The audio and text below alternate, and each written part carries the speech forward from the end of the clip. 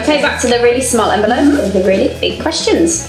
We'll start with Jenny. Mm-hmm. So, ministry, kids, husband, Mm. busy life, shopping, you know, running the household. How do you unwind, like for yourself, and then how do you keep fresh with God in all the busyness? Okay, well, I go to the gym because I really, really enjoy exercise. So, so I'll go to the Whatever. So I'll, Each to their I- own. I'm, going because actually that's what I really, really enjoy Yeah. doing. And Yeah. if I'm really stressed or tense, I'll get on that stepper and and I'll feel a lot better.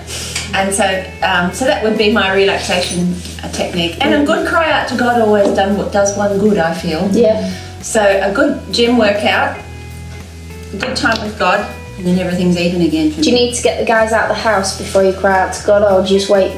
Um, Get up well, they're before they're hardly up. ever there anyway, so I have the I have the That's your to problem. myself really. Can sit there and quiet out to God because they're never home anyway.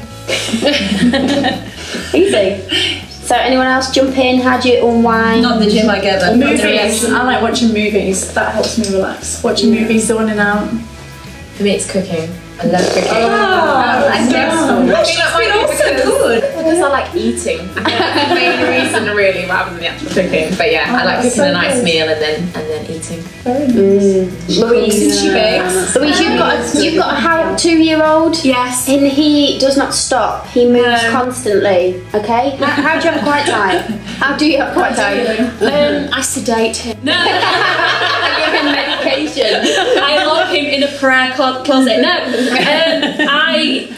The, the way that I can pray is that he's still having his um, naps during the day. So as soon as he goes down for his sleep, I'm there with my Bible and notebook. Or otherwise, I prioritise time in the evening once he's down, and that's the only time that I can do it. And sometimes because I work for the church as well, I can take an hour out here and there. But that's the way that I do it. But it ha- I have to prioritise it. I have to put it in my diary. Otherwise, it just wouldn't happen. What about you, Jimmy?